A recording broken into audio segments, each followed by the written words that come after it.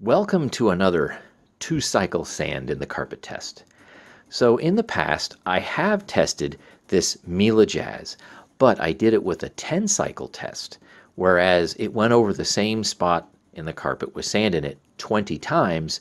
We're now just going to go over the same spot in the carpet four times. Hence, you know, that's where the two cycle comes from. So as far as height adjustments, these two machines are the same. They have automatic height adjustment, which is to say no height adjustment. Whatever it runs at is whatever it runs at. In fact, the Miele on the bottom there says Power Plus automatic height adjustment. It just it doesn't do anything. Whatever you do after you recline it, that's just what it sits at. And pretty much the same thing with this Hoover Air steerable.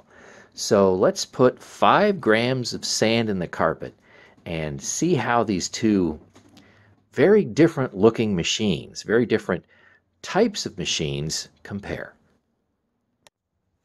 Let's move the sand out of the way so I don't mess anything up. And for this test, actually for the next two tests, sand and baking soda, I pulled out a very expensive, completely brand new and never used, genuine Miele U bag. Right, let's see what we have for an empty bag weight. And I'm seeing, I think you can barely see it, 56.64. All right, we'll, we'll do that. Now,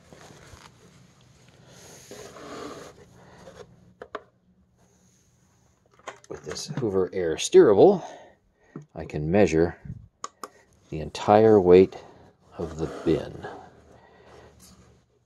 And of course, it's just been refurbed, hasn't been used to pick any dirt up whatsoever, so it is really clean.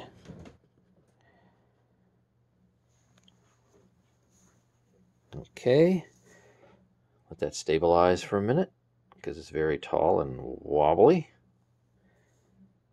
and I'm going to call it at 928.0 grams for an empty bin weight.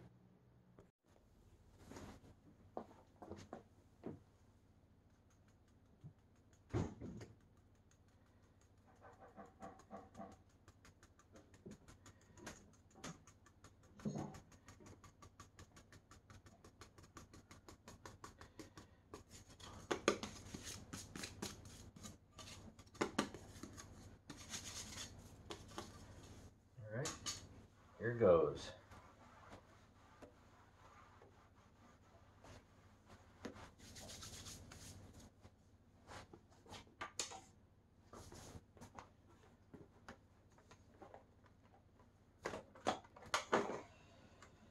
Power switch is on smooth.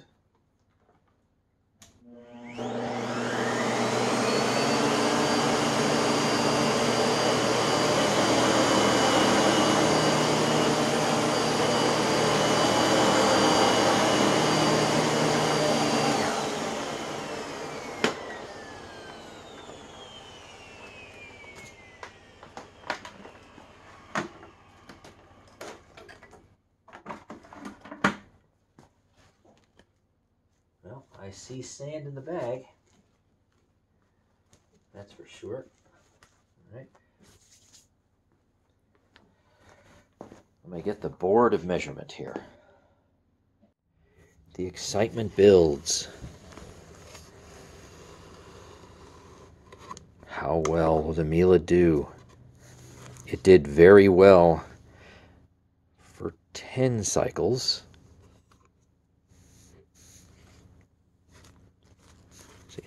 Same way before. Okay.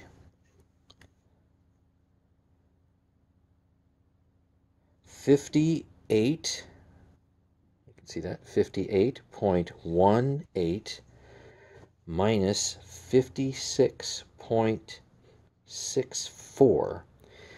We have a raw pickup of 1.54 grams out of 5, and that's going to be a fraction of 31%. I'll just move that.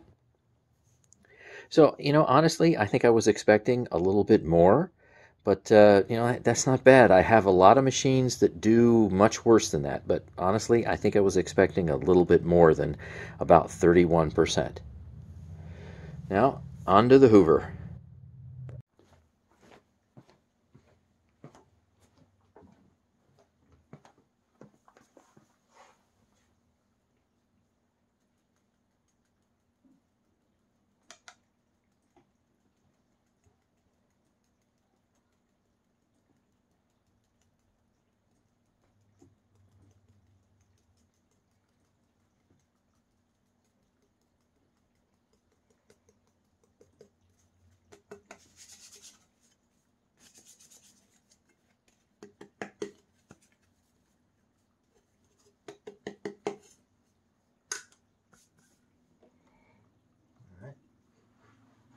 There it goes.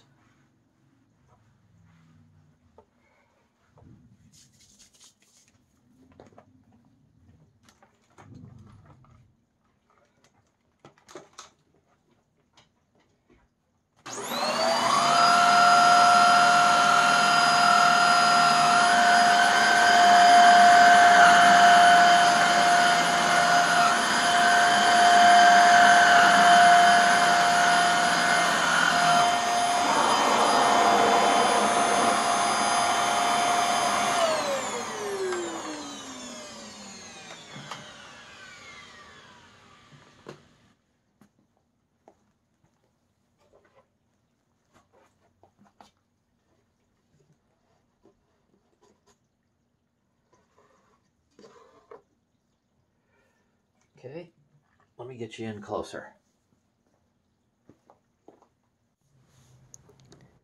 All right, let's do the raw bin weight first.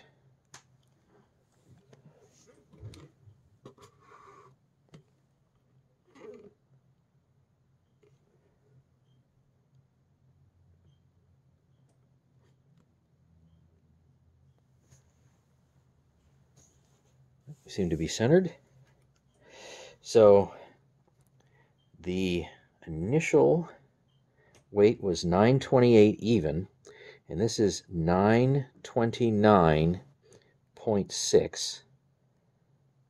Subtract the difference, and we have a raw bin weight of 1.6, and of course that's out of 5, so that's 32%. I'll move the decimal place to make it look a little neater. Now that's the raw bin. So let's see what we can do to actually extract the sand that fell down to the bottom of the bin.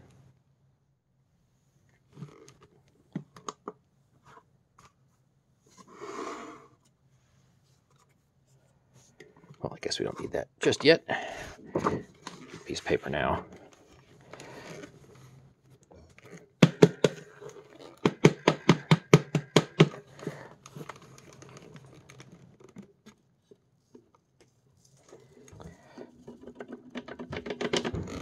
I see we got some carpet in there.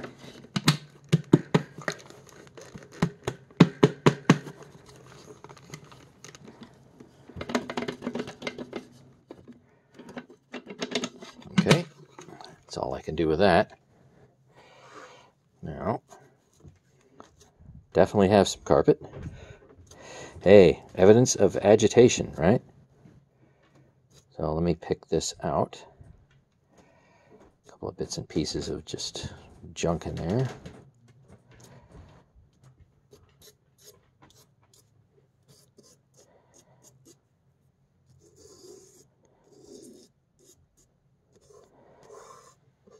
Hairs.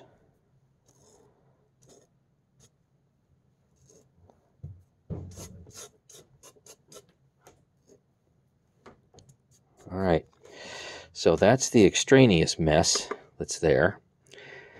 Just for fun, let's see what the extraneous mess weighs.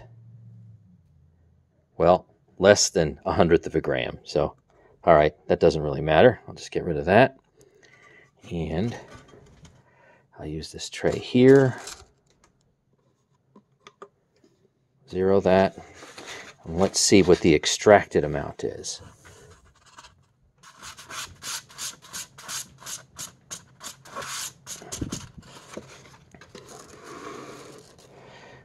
Very different. Okay, so 0.69, and then we just 68, 69, I'll call it 0.69, give it the benefit of the doubt. Divide that, extracted, we're at about 14%. There we go. So about 14%. So quite a difference between raw bin and what you can actually get out of the bin. In the end, as far as raw pickup goes, these two machines are the same. Who would have believed it? The big problem is, and this is something that I've shown in other videos in the past, when you have certain inefficient cyclonic systems, you have a bunch of your debris and it just stays in the cyclonic assembly. It doesn't normally come out unless you do something more extreme than just, you know, a standard emptying. So, raw pickup, yeah, these two machines are essentially the same. Who would have known? Maybe I should uh, put some kind of label in the video that states something like that. But as far as practical dirt recovery, that is, dirt that you can get out of the house, the more simplistic system, that is, a bagged system, is able to easily transport the dirt out of your house with less fuss. So it's kind of like a bagged versus bagless competition. So thanks for watching and stay tuned for more. And now I've got to get a lot of sand out of that carpet to get ready for the next test. Hmm. Wonder what I'll use.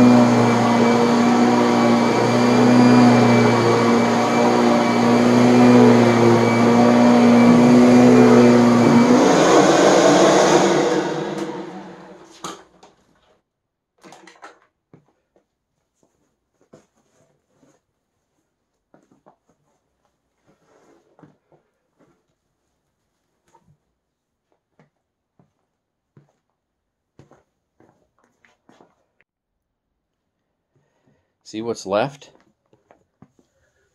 Look at that.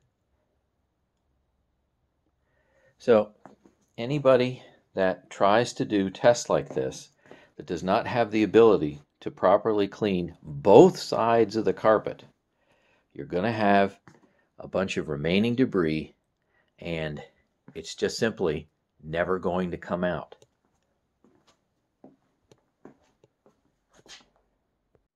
Now I need a good surface cleaner. Hmm. Wonder if I have some battery powered stick vac laying around here somewhere. Oh yeah, how about this dude?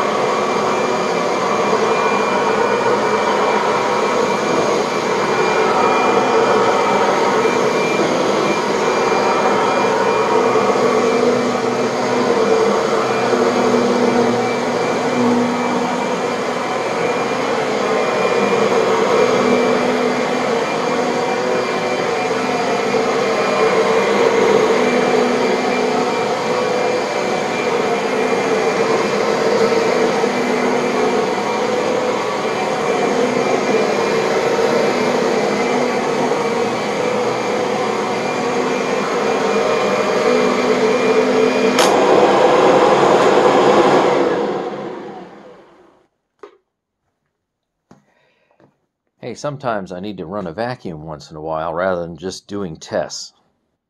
All right. See you next time.